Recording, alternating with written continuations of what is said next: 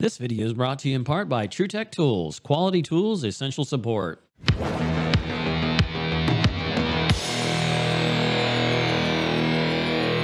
right, guys, so today we are here at a grocery store and we had an alarm on the ice cream cases. And we get here, and just judging from what I was seeing, the problem they said was airflow. No airflow, so the fans literally suck it in, blow it through the back, through the back wall, out and through the air bands here, and it drops down. These are electric defrost. Uh, you can see that we've got some issues here. Looks to me like that one there is partially unplugged. We gotta check that with the amp meter yet. Chances are we're gonna have to melt this with water because it'll take forever. And obviously this isn't gonna get it. These cases are all old. Most of my stores are really old. Now this case over here was perfectly fine. They decided not to pull that one. I left that on them. I had them pull this here. Heat will build up. I told them it's a possibility it might get warm over there, but you roll the dice on your own product. I told the store manager and they made that decision not to pull it. So hand valve is open there. A lot of freezing up going on behind the TXV. May possibly check screen. Most of these stores got dirty systems and screens get plugged up quite often. But from what I'm seeing here, like I said, the defrost looks like it's an issue. And we also got a door here that's sprung. Somebody opened it too far and bent the bracket, so the door won't shut. So we got to fix that, which would be nothing more than a hammer and a chisel. Yep, no amp draw. So that's that's a problem. Uh, that right there, unfortunately, is completely froze. So we're gonna have to get that water. Now what the bad is, this is the one that actually had the alarm. So we're gonna go ahead and deal with the first one here. This is circuit 31. This is circuit 32. Check the alarm. So this one here might end up having to be pulled next. As you can see, a lot of times people leave doors open and you'll see a lot of crap frosting up on stuff, things like that. So we're gonna deal with that one piece at a time. You can get well overwhelmed because as you're here, you're gonna get asked to look at the meat department, you're gonna look at deli and everything else. So right here is our hose connection, which is better than some, so you can actually run that hose all the way across the top. All right, so one of the first things we're gonna do when we get this water rolling is we're gonna make darn sure that drain works. Last thing you want is a big buildup of water in there and no place for it to drain. So we have one 50 foot hose and then this rubber hose, which is one of my Craftsman hoses, which is rubber, probably one of the best hoses out there. So we wanna make darn sure we got good O-rings, otherwise you leak water on the floor.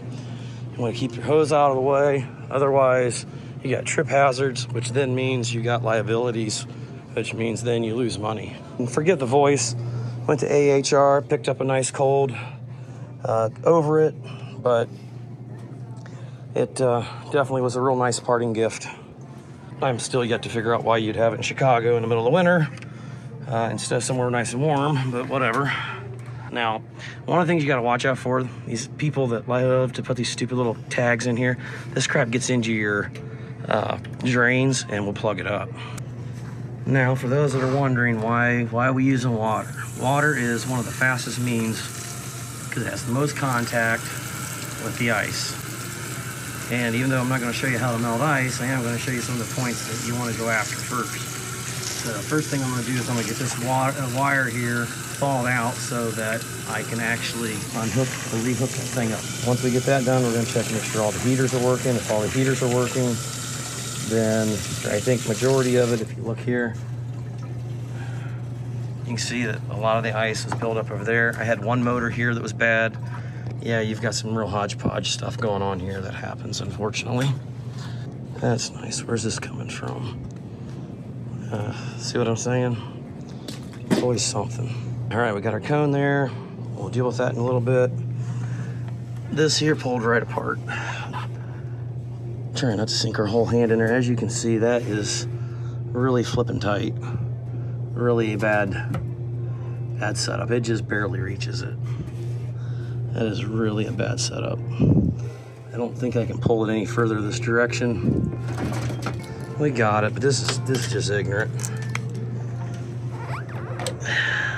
Okay, I got three amps. It's working. So the heater's good, that's a good thing. Like I said, that's just crap. Okay, As you can see, most of that ice is superficial and it's towards the front, which is a good sign. So we'll go ahead and get this thing melted out. And the big thing is, is making sure you got it all the way in that very, very back corner. You don't get it all the way out of that very back corner, that'll cut the airflow off and it will come right back again within a short period of time. And you'll be back doing this crap all over again and this is not something we really enjoy doing. So you gotta make sure you get it really, really good not just what you can see. You need to get to behind there where you can't see, which a lot of times I'll use my camera to get in there to get to it. And that way I know I've got the air band behind her. Cause like I said, this thing's gonna blow straight through the coil to the back, all the way into that back wall there, that metal part. And it's only sometimes an inch or two back here, and there's not a lot to work with. Water's trailing out on the floor. That's fantastic. All right, so we got it pulled out, and as you can see, the drain line there goes across and all the way down there. That's where it's leaking at, is right about right in their area. You can see everything down here is very old. It's from like the 70s. Everything's just, if not 80s, I mean, either way, it's like 30 plus years. Oh, yeah, see, there you go. That's the problem. They got a plugged, plug drain right there. All right, so I'm reaching down there. I've already pulled out one of those stinking plastic things. Kind of just dig dig this crap out. When I reach up to the bottom of this, I can feel stuff in the pipe itself.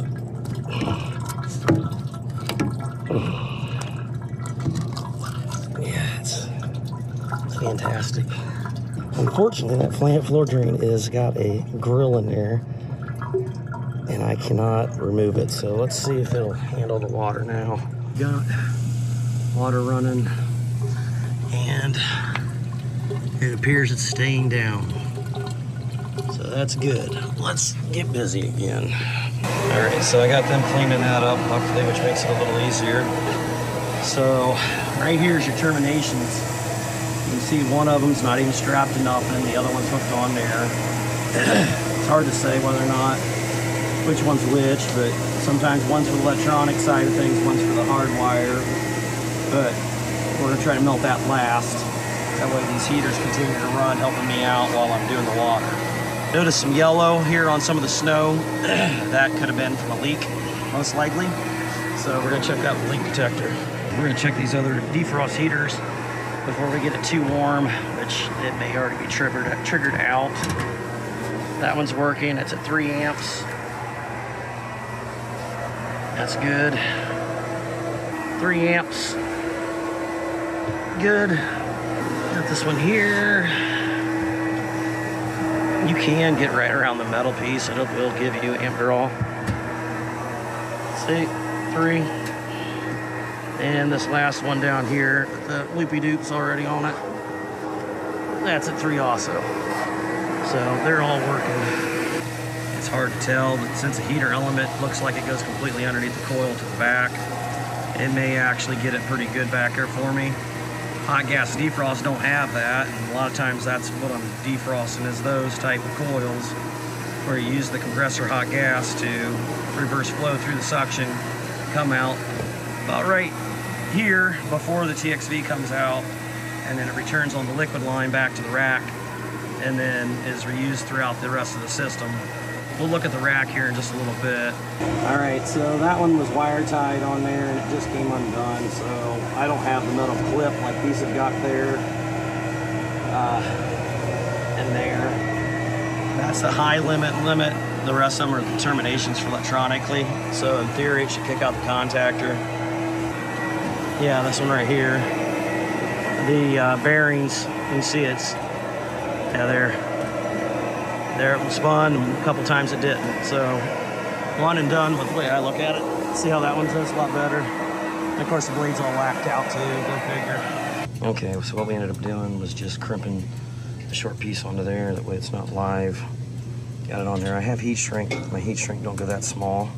So in theory, it's not going to really matter much because half of this wire's in the water anyway. All right, so we got it all taped up.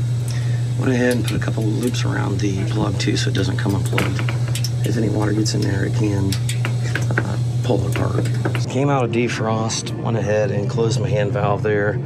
Otherwise, the fans are gonna be coming on. These fan blades are whacked out. Had to take off those wire nuts, which is really comforting. Got the new motor here. It didn't have a plug on it anyway, so it works out good. Universal bracketing, you got stick mount on the sides or on the back. You got new clip. Like I said, the motor fan blade will work. It's just not perfect. All right, so we got it in place. Everything's bolted up. Blade turns. Looks like it should work pretty good. Um, you see those blades there? Cup like that. So it will work. Got it taped back up. So, um, need to get the camera back here real quick and uh, make sure the rotation's right. I mean, it says clockwise, but some do it by lead in, some do it by shaft in. Here's my camera I've got, which it's got side camera and front camera both. So we'll just slide that back here. I did notice I missed a little spot here, but let's see if we got everything in the back.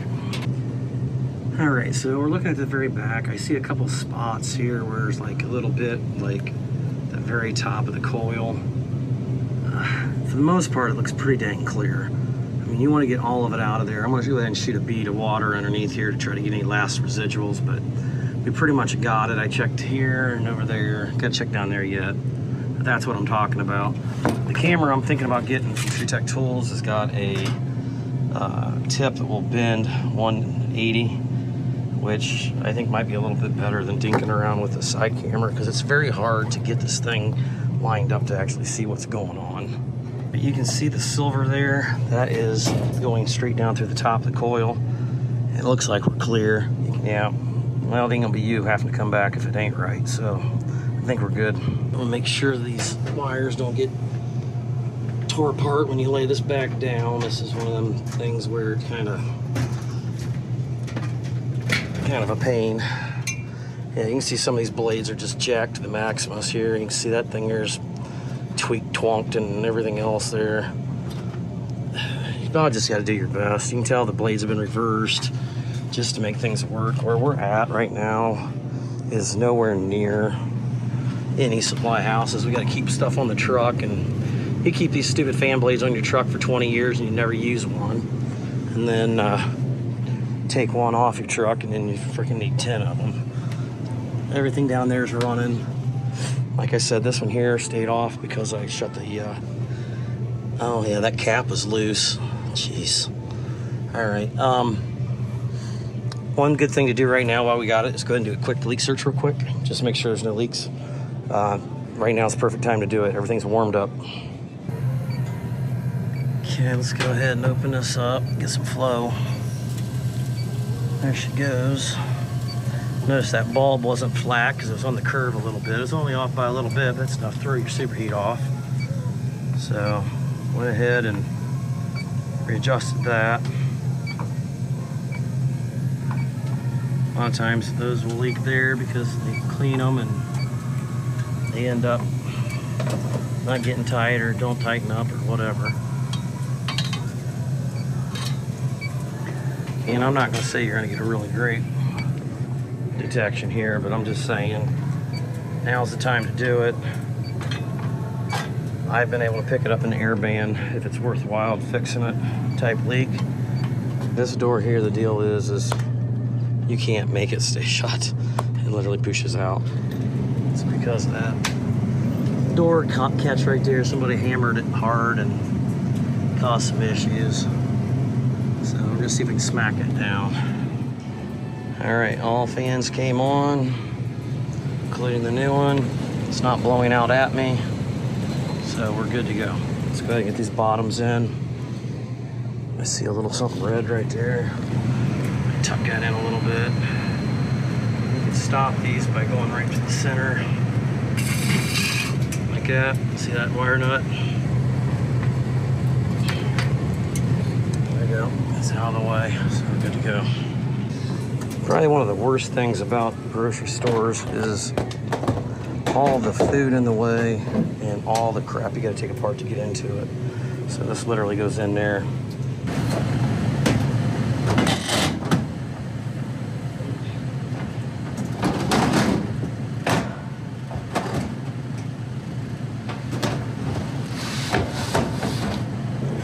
What I usually do is I'll take one shelf completely out.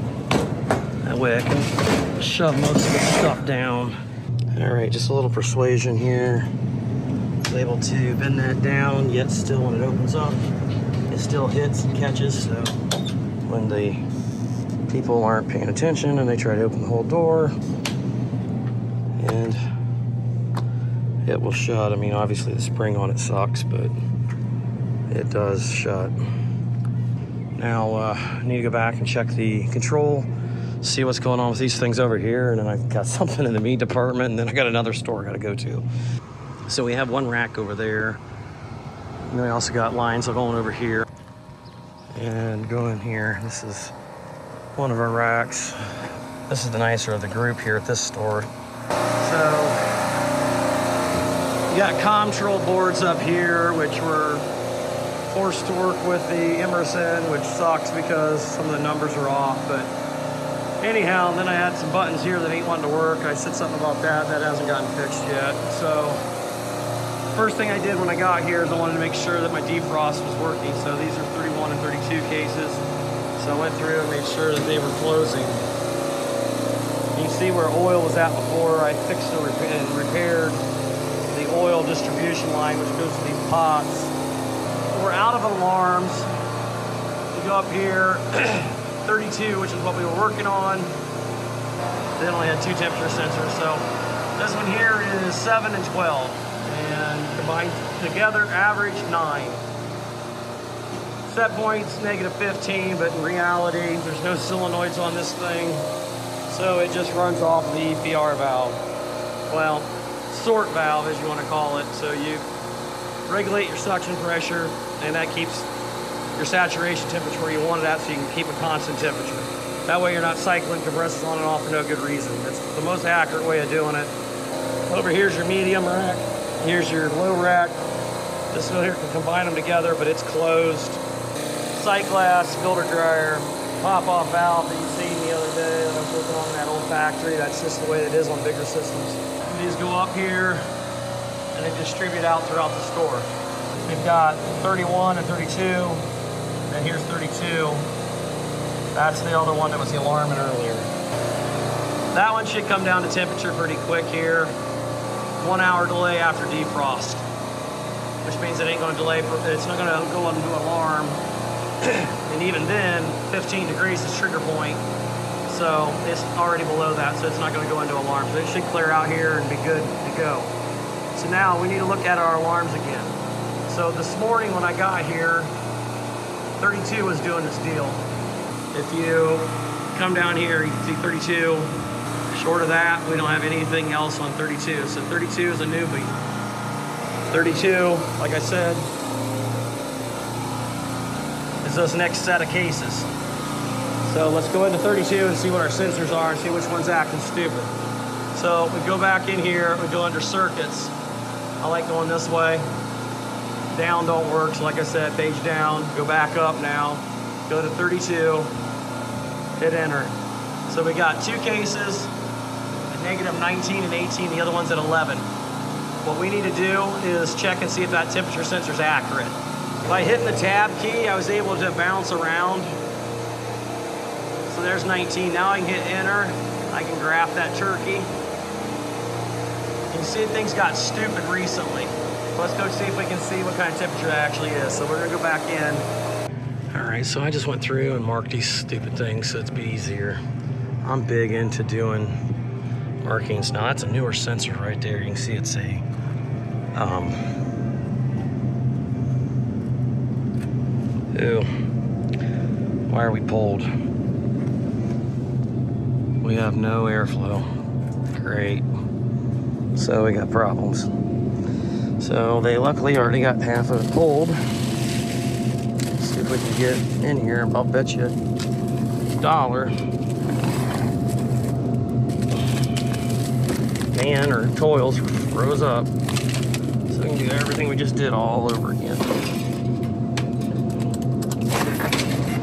Fan's running, coils froze. Ah, guess what? Pull the whole case because that's that's a flipping mess. All right, so each one of these is a case. So from there to here's a case. From there to that silver thing, that's another case. And the third one down there's another case. I mean, it's got its own evaporator. So these all here feel like they've got good airflow. So we're not gonna mess with these. If they were cut off, they would have poor airflow. They were doing something on uh, Advanced Refrigeration Podcast about these little things. Something about them causes it to do that. I don't remember what exactly it was, but yeah. So anyhow, that's what we're up to now. So as soon as they pull that bottom row, they're not going to pull the top of it, and then uh, we'll melt it out again, and we'll see if the heaters are working. He said they was just out of that. That's the reason why they don't have any there. So all right, so we went ahead and put the little bottom rows up there. A lot of times I get these things out of order, which I know who cares? They got to deal with it. But the problem is it takes them longer to put it back together, which means they ice up the new coil that I just thawed out. So I try to make it as easy on them as possible. And most of these people have been here for a long time. Making friends with them is always a good thing.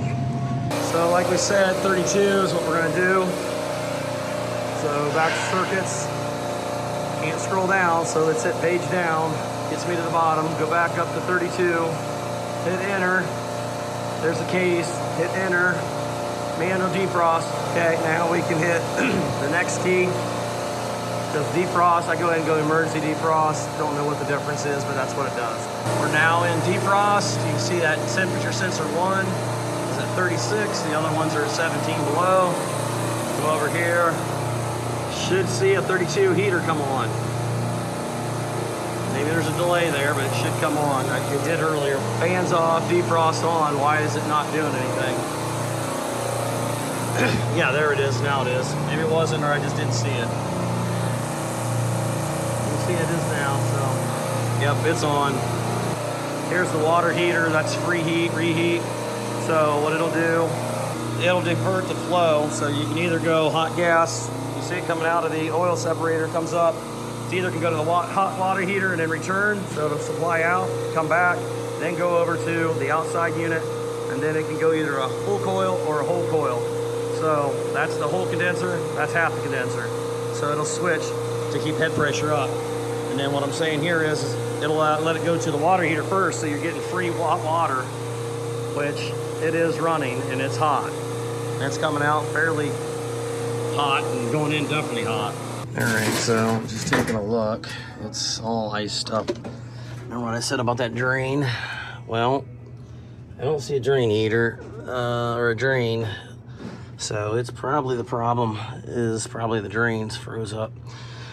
All right, so back down here we go again. And you can see it got galvanized and you can see that we got ice down there, which is a really bad thing because that means that line's probably frozen an inch or two down in there. There's a drain heater. It's broke off. So we're gonna keep on blasting water down in there so we can get it to go through. All right, so I went to go grab my nitrogen here, but I found a nice little plunger and was able to suck out some of that crap, which is these damn tags that they freaking leave in there. And that's what it was. And you know, those wires are live, but you're not seeing me get shocked but we're uh,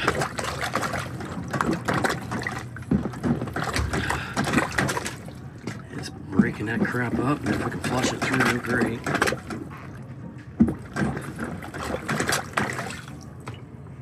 yep there goes the crap don't really like seeing it go back down but I mean, the plastic pieces if we can get the big ones great look at that that is there's nothing brings more joy to your heart than seeing that sucker start to drain like it started to and then stopped.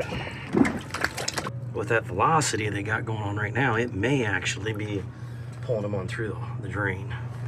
But you're better off to get it completely out of there if you can, which is what I'm doing.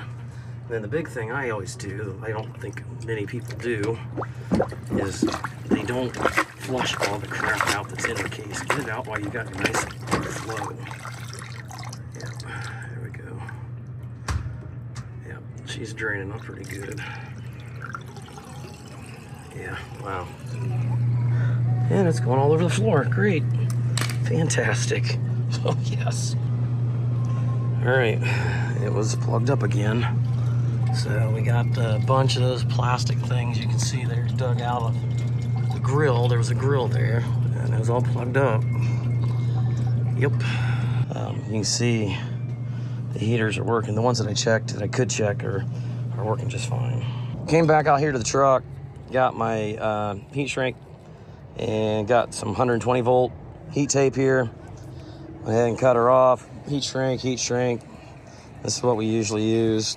Butt connector. Hook some 14 gauge or 16 gauge on there. This thing doesn't pull squat. Anyhow, gonna go back in there, get it uh, hooked on there with the fans, shove it down there as best I can, and uh, get this thing back up and going. Now, I do have a another heater stick here. This one here is 110 volts and uh, 120 volts, 30 watt stick. But usually it needs something to shove it down flat. And with the way that froze down in the uh, drain, I'm a little bit worried that this wouldn't work. Uh, that case is, I think, saturated with moisture and that transfers the cold right onto the outside and would cause it to freeze up. So that's uh, another drain heater that we was stock that we would have. We were able to unplug that fan because that was live. It kind of hurt. So let's see if we can drive this thing in there. I ain't sure which way it's going. Yeah, it's going towards me. There we go. Yep, good. Oh yeah, look at that. Beautiful. So there's what we got there. Now I can just plug that right into that. And that's why I left that a little bit extra long. It Should all flop down and all be happy, happy. I'm gonna put some tape on some of those um, plugs. So we just checked the last of them. That one came in at two and a half and uh, got them all taped so they won't come undone. So we should be able to kick this thing out. I can't believe it's still in defrost. It must have went into a natural defrost. Yep, see, you gotta make sure of that. See, there's one wire there, it's gonna get in the way. Rest of them are fine. Okay, we got that opened. All these turned. Don't see any wires in those. 32, it's in defrost. Let's enter. Let's go into setup, look at the defrost times. Two o'clock, it's uh, 227. So we're gonna go ahead and cancel that out. We're gonna back up one, hit enter. We're gonna have to log in. We're hit enter. We're gonna do down to manual defrost seven. We're gonna scroll over to end manual mode, hit enter. It's gonna drip. Well, it finally kicked on. We're already at 18 on the furthest case. 57 is the one I was on. Now, that one's dangling. So I'm gonna go in there and see if those fans came on yet. All right, so the first one we did here, it's coming in at 17 according to the controller. I've got 12. So we might be a little restricted on that TXV or the TXV's not feeding right. Then everything down here looked really good except for the very end one, which I still had a little bit of ice in this very last spot here. So I've got to melt that crap out of there. All right, so what I ended up doing down here, because I wasn't going to go through this crap again, ended up drilling holes in the back wall, took my camera down to the top. So just itty bitty hole, that'll be completely covered by product. Checked all of them across. So while I was doing that, I ended up checking my thermometer. Currently right now we're at negative five. So we might actually golden. Now look at it. Negative seven, negative 11, negative five. It took a while, but it came down. Yeah, you can see she just, so product was warm, it just took a while. All right, guys, so that wraps that one up. Everything was working good. I went through everything with the manager, made sure that uh, that uh, everything was at temperature. The uh, meat cases, uh, something about either it was too warm or too cold, but he said we could get that on the next trip. It was uh, not critical. The guy never came and talked to me, so he wasn't sure about it, and they were gone. So other than getting locked out and had to walk around the building, uh, everything else went pretty good. So uh, everything is running, like I said, at temperature. That's just a easy day, but time consuming and a lot of wear and tear. You're just tired at the end of the day because you're constantly going back and forth, back and forth, back and forth. And uh, nothing's easily adjusted on that rack. Everything's got to be done back at the SORIT valve. So all the temperatures on the display is totally false. I mean, it's just a gives it a reference point and you tell it, hey, if it goes so many degrees above or below it, that way it alarms. And so that, that way you can keep an eye on it. But short of that, it pretty much just stays consistent temperature based off suction saturated temperature. So anyhow, I hope you guys enjoyed it. Until next time, we'll catch you on the next one. Later.